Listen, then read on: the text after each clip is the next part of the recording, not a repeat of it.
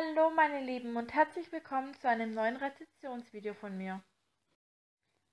After Love von Anna Todd ist erschienen bei Random House Audio und hat eine Gesamtspiellänge von ca. 28 Stunden und 10 Minuten.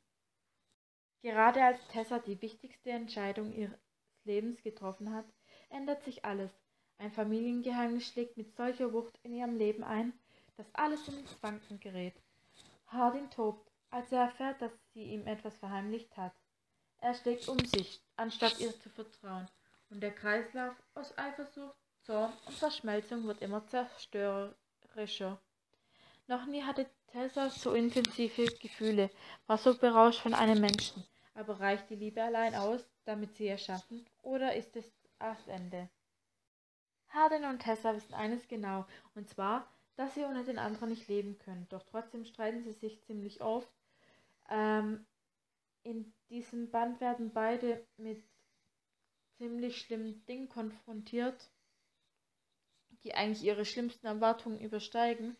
Und das hat die Autorin ziemlich gut hinbekommen. An manchen Stellen hat sie schon teilweise meine Vorahnung und als ich dann wirklich die Wahrheit bestätigte, fand ich es teilweise schockierend, allerdings im positiven Sinne. Anna Todd schafft es, den Leser zu begleiten und ihn zu überzeugen, diese Reihen zu lieben. Mit den Protagonisten zu fühlen, egal ob es die Höhen oder die Tiefen sind.